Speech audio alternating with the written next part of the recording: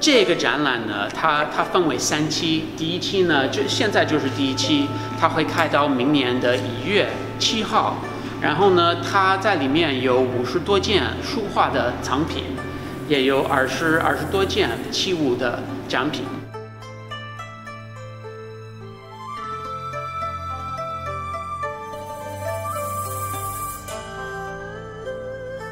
在它的款，它表示。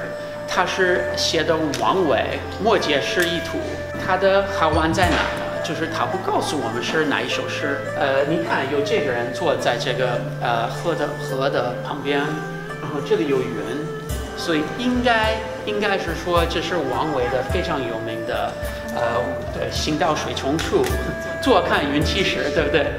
所以这是一个呃。可能就是说是呃，当当当年的当时的人，这是他们的一种游戏。这个展览呢，它不是按照时间顺序而布展的，它是按照题目。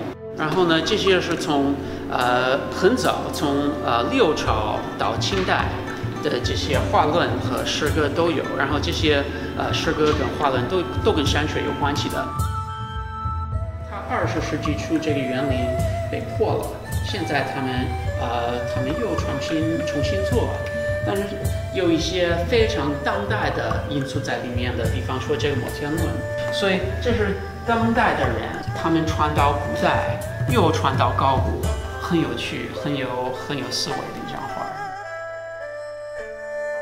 呃，这个展览的关键问题呢是什么？就是郭熙，就是北宋的画家郭熙，呃，提问的。君子之所以爱抚山水者，其之安在？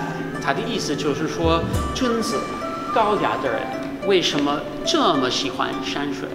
然后呢，每一个展厅、每一个作品、每一个说明派，都是一个机会，提供一个答案。